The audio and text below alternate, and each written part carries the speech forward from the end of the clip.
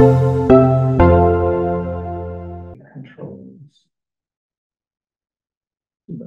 Control, oh. All right, uh, we got Tom and Matt. Alright. So this case was uh, of a young lady who who was myopic her whole life and saw well with her glasses just until the last couple of years. She had been recently working as an accountant and she was just noticing her vision was getting more blurry over the past two years. She also complained of of the various um, complaints depending on the lighting. So especially when she was driving, when there's bright lights coming on, she felt like her vision was worse. She can read better on a dark, like the night background instead of black letters on a white background. And she had some different changes with her vision at night. At night, she felt like she could see green lights and during the day she could not. So, um, and in this scenario, the patient has no knowledge of her family history because she was adopted as a child. And so her visual acuity was twenty-one sixty in both of her eyes and her intraocular pressure was within normal limits. So, Oh, it's not working. oh, there we go. All right, get the right eye color from this photo. Um, overall media looks clear, nerve, um, looks big sharp flat, small uh, cup disc. Look at the vessels, uh, pretty normal, uh, caliber, tortuosity. Um, papillary, it seems like white spots, uh, kind of, um, multifocal, although those could be, I guess that could be an artifact there. Um, attention is drawn to the macula, where we have. Those are all reflections. Yeah, the reflection. Uh, the macula, we have, um, kind of like hypopigmented parafoveal, um, pattern, um, and the fovea itself, like pigmented, normal color there. Um, and I see, uh, in the periphery, it looks like there's a, little flame hemorrhage there or something, uh, Like a little white center. or like a rock Rock spot, yeah. Interesting, um, another. Just seeing if there's any emboli in the vessels, no, it's all just shining artifact and Um, although distally, there's also a little, white, uh, area at one of the, um, the vessel bifurcations. Potentially artifact as well. Yeah, I think that's it. one. And then, well, it's also kind of like a uh, speckled exudative, um, pattern right in the, in the fovea, like, yeah, central macula. Um, so the left eye, color from this photo. So overall, um, pretty similar appearance actually. So you get the normal nerve vessels. Um, and then the macula has again, it's kind of hypopigmented, uh, speckled pattern with, um, some whitish yellow spots. Um, you're seeing more, I think, just artifact again with the, the white lesions of the macula and, you know, around the nerve. Um, otherwise, uh, periphery looks here unremarkable to me. Okay, now we have, uh, autofluorescence, and we're seeing, um, of hyperautofluorescence parafoveally, more, uh, which again, sort of like speckled hypofluorescent spots, uh, as we get more essentially in the fovea. Um, otherwise, pretty standard looking vas- vasculature and nerve there. The other eye?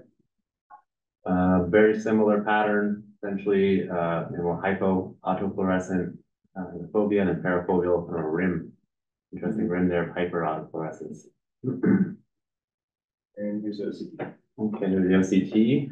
Um, normal foveal contour, uh, but attention is drawn to the, looks like outer retinal atrophy here.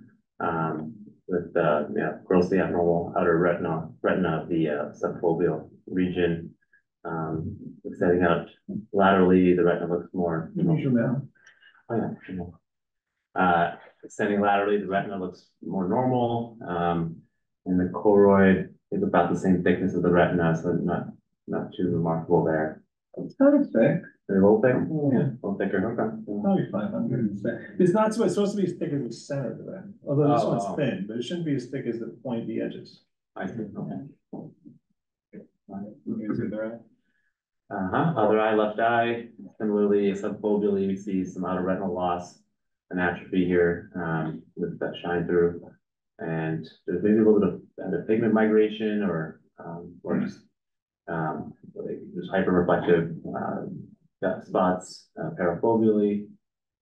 Let's See, uh, ELM looks maybe somewhat discontinuous here. Um, and yeah, otherwise, the retina looks more normal as we extend away from the, away, away from the fovea. And those are called hypertransmission, those the bright things, and those are actually the most reproducible marker of RP atrophy. So as we get more and more, not that this is macular generation geographic atrophy, but as we get more and more into doing more geographic atrophy as there's treatments, people are, those hypertransmission things are, are, are gonna be more referenced in clinical studies on. Probably. Um, here we have another cut, uh, the left eye, um, lower, much lower quality image. Um, this is the vertical, the vertical cut. Horizontal. The horizontal.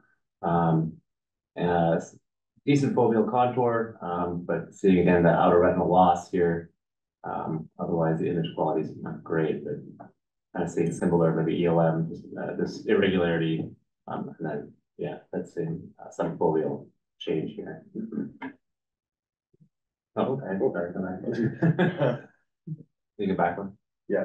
Okay, so, yeah, as, as Matt pointed out, what, just notes that I made on the color fundus photo, that there are small, like yellow, white portions in the fovea, and there is some mottling of the RP, there's some darker patches and lighter patches, and the rest of the retina looked fine.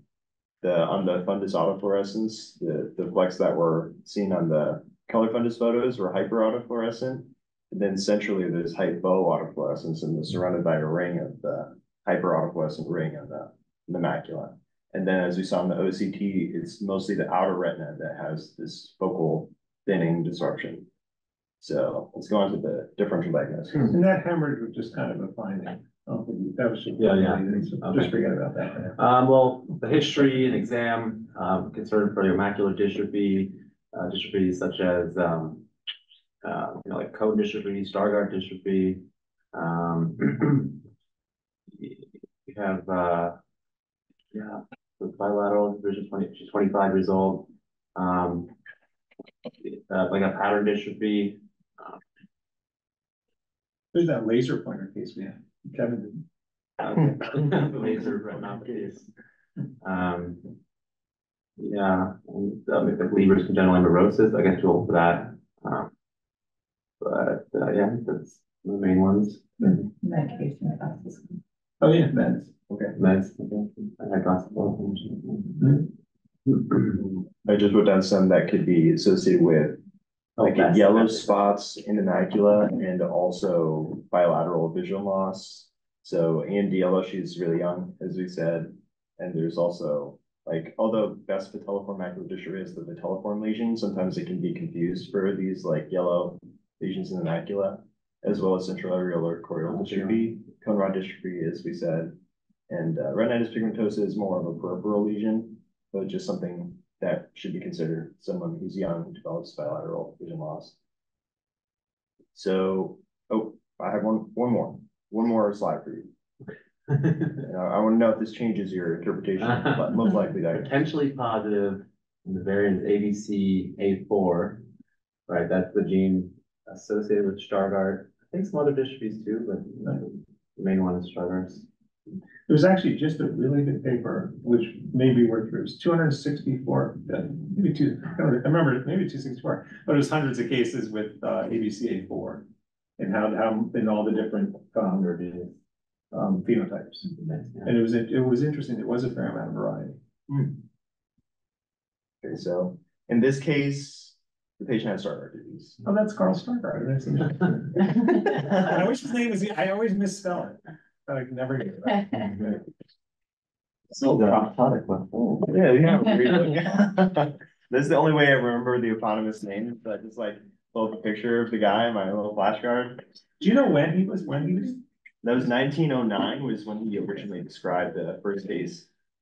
You can tell, as you can tell, he's probably a good guy. All the people, all the bad guys that got their name taken off, like Reiter syndrome and, and, uh, Wegener's granulomatosis. Yeah, what year did you say? Nineteen- Nineteen? Oh, nice. Yeah, Yeah, a little- gotta be a little too early to be Yeah. He probably was a good guy. Thirties. Yeah. But, um, so Stargardt disease is the most common inherited macular dystrophy. What was interesting to me reviewing this case was that it's related to a genetic defect in the ABCA4 gene, which encodes an ATP binding cassette, which is expressed in the RPE, which results in the accumulation of lipofuscin, lipofuscin. Some, some references say a lipofuscin-like material, Hmm. which is primarily composed of A2E in the RPE. And that extends, you know, presumably to the entire retina, as you can see in the dark choroid. But, and I was looking at why should it be that just in the macula, as we said, as we saw in the OCT, we should have all this shine through in the RPE atrophy. And it seems that because of the dense collection of all the photoreceptors in the macula, um, it is more active metabolically, and the cones themselves are more metabolically active than the rods.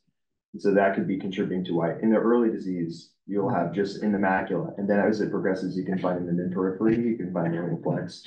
well, that's interesting, I never thought about that, how it expresses, that was true of most genetics, but yeah, why it expresses everywhere but manifests in one spot?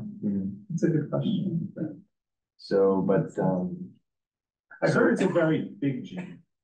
So for genetic, we never talk about, oh, that's a big gene, but for genetic therapy, um, it's a hard one to get in, because people are having trouble trying to figure out how to get it in, because it's just such a big gene. And then, as we saw in this case, patients have a gradual decline in their central visual acuity. Some may describe a central scotoma and uh, photophobia as well, and difficulty seeing in bright and dim lighting as well. So, and here, here, we didn't, in this case, do a fluorescein angiography. It seems, although this is the, like the picture that everyone thinks of with Stargardt disease, it's not necessarily sensitive or, well, it's relatively sensitive. Eighty percent of people with Stargardt disease should have the dark choroid sign, but it's not very specific. As I think it's sixty, it is, is not that specific for necessarily Stargardt disease. But, um, on, yeah, the typical exam findings, as we saw, were the yellow-white flecks, those are called the pisciform flecks, fish shaped. I, I was trying to figure out what, what they meant by fish shaped, but that was helpful that you mentioned. That took, that threw me for, it took me a long time to figure that out. And, um, the, the atrophic pale inner part of the fovea is surrounded by more mottled dark areas on the macula, and that is correlated with, on the fundus autofluorescence. There is the hypo autofluorescent central macula, which is supposed to be the atrophic macula, surrounded by the hy- hyperautofluorescent fleck, flecks, which are causing stress on the surrounding dying macula. And that causes the hyperautofluorescent ring on the macula that we saw in the fundus autofluorescence. And so that is sometimes called, there's some, there's like a bullseye, sometimes it's called a bullseye sign. And that mottled kind of brownish orangish appearance of the macula is sometimes described as beaten bronze. So it didn't look that beaten bronze in our pictures, maybe that's more advanced, you know, appearance of the macula. And again, like this patient had no flecks, Yeah. you know, so they are all kind of a little different than mm. ABCA fours. and unfortunately for the management, there is some mm-hmm. limited evidence that in people who have high amounts of vitamin A will have poor outcomes because vitamin A is the precursor to the lipofuscin-like material. So some societies for Stargardt disease recommend not supplementing vitamin A or not ingesting a high amount of vitamin A, and of course, not cutting out vitamin A. So. I think there I think there's a treatment trial for a vitamin A chelating drug. Oh, that I haven't So I seen. think people, I remember, uh, you know, Christine, one of your former residents was, does, she's up in Gainesville, she does some, is interested in Stargardt sign, I think she was a study center. So I think vitamin A is bad enough that they were actually looking at chelating, so I think vitamin A is bad for Stargardt. Let's And then family members should be, have genetic counseling, because the, the disease is autosomal recessive, so it seems like she had two pathologic variants. Unfortunately, her mother had, her mother had Stargardt disease and her father had retinitis pigmentosa. Yes, so, Very, very unfortunate, yeah. yeah, that's not common. But, but the other thing for Stargardt, I think it's a fairly common gene defect though, I, I, you sounds like you read a lot on it, I, I think I saw somewhere seven percent of the population carry it. Five or, it's like a fairly common carrier state. I don't say shall be twenty-seven or Starbucks, but one of, one of, they think ABCA four is, is a pretty common mutation. I, I think that's all I have on this. That's the end of